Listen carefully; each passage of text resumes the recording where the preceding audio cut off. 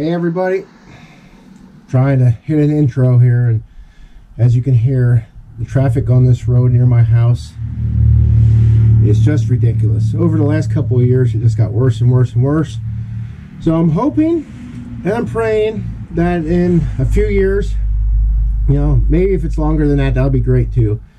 But in a few years when, you know, my grandma who's 95, 96, uh, when she's not here anymore, I'm, I'm hoping that we can uh, get her house, fix it up really nice, you know, and eventually move everything that's here out there back to where I, I basically grew up since I was like four years old. And uh, yeah, probably live the rest of my years there. It's nice, it's quiet, a lot quieter than it is here. You know, it sucks because I really like this house, but unfortunately, with the traffic and the overpopulation around here and the disrespectful, uh, the disrespectful people. You know, I just, it's just time. It's just time. You know, it's like, it's like, hey, you guys won. You can have this area. I'll just go back to where I grew up. Okay. And uh, well, enough said about that. But we're gonna go over what I want to talk to you guys about, and that's the DJ I mic. Comes in a little bag here. When you open it up, You'll see uh, two transmitters and a receiver. Right there. And uh, I'm going to pull one of these out. Now you don't need to use the uh, receiver to use the uh, the mics. And I will show you that show you in a second. Got these little uh, wind screens that you can attach to the uh, microphone. Really nice.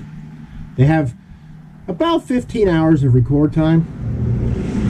So what we're going to do is we're going to hit this record button on the side here. And it should light up red for us.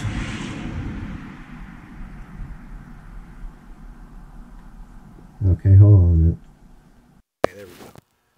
Now, this is recording what I'm talking in, or whatever I'm saying, it's recording. So, say the GoPro goes out, I still have the uh, audio on this.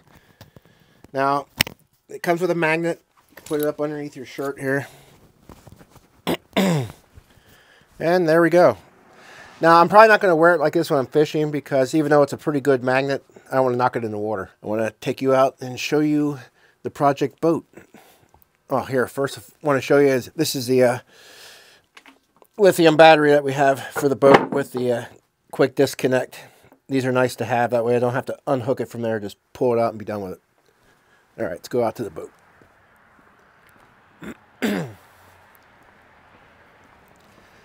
yeah, traffic is just ridiculous here. It's sad. It's really sad. You know, house is paid off for a long time now, and you just don't want to have to relocate. But unfortunately, trash makes you relocate. I have a lot of good neighbors. I have a good neighbor on right here. I have one here. My friend, two friends live up the street. I have a good neighbor over here. But it's this damn road that turned into a highway. and everybody thinks they're freaking fast and furious in their little cars now and have to make popcorn sounds when they go by. Like pop, pop, pop, pop, pop. You know, say that for somewhere else, especially 2, 3 in the morning. Because, I mean, if somebody would come outside and throw a brick through one of their windows, I wouldn't really care. You know, I figure, hey, you get what you get. Some of us actually have to work for a living. You know what I mean?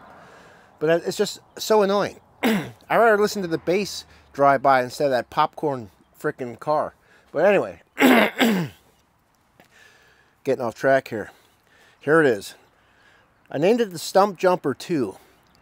If anybody reads Bassmaster magazine remembers Harry and Charlie, they had a boat and it was called Stump Jumper. So, you know, I wanted to keep it along those routes, I could say, I guess you could say, you know.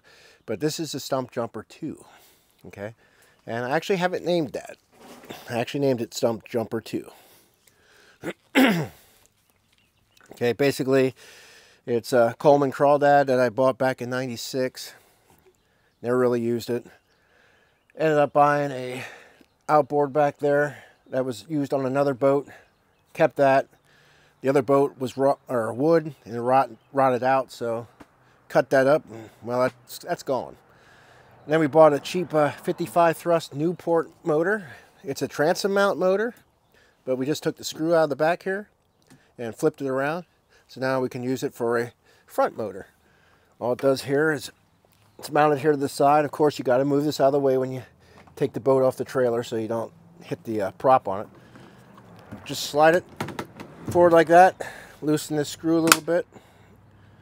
And it should just slide forward. There it goes.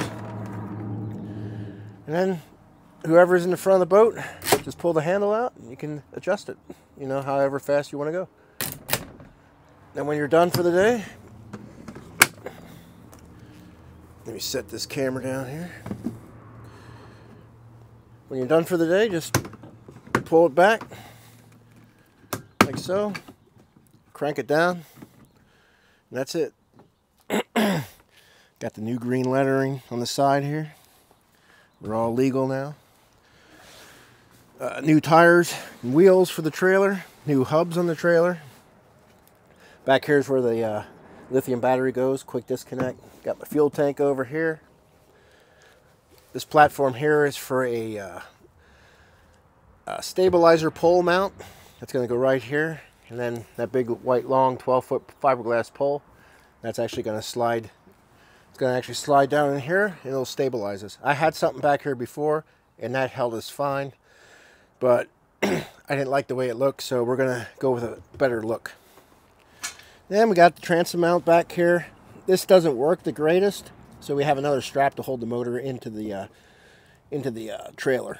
but yeah, it's it's pretty solid back there for, for what is it? It's basically we call it the plastic tub. And put a bigger transom bracket back here. Hold on. Hold on one second. I hear dogs barking. Oh, UPS guy's here. Let's go see. Let's go see what the UPS man brought us. Actually, it's Amazon. That'd be pretty cool if they would have brought my transom bracket or my uh, power pole mount. Not power pole mount. Let's go take a look in here. Be right back. Okay. Unfortunately, it wasn't anything for me. But, oh well. Okay, back to the trailer. Okay, we had to redo the hitch here. New uh, safety chains and the connector for hooking it up to the Tundra. We'll probably use the Tactical Tundra to pull this just because we're going into a lot of areas where it's pretty nasty. Boat ramps ain't the greatest and I want something that has a little more meat on the tires. The uh, fishing Tundra, they're more of a street street kind of tire, so they ain't the greatest for nasty ramps. But the other one has off-road tires, so that shouldn't be a problem. But yeah, there, there, there's the Coleman Crawdad Stump Jumper number two. And uh, hope by uh, by next week or so we can get it on the water and test it out and see if it uh, floats or if it sinks. So uh, stay tuned for that.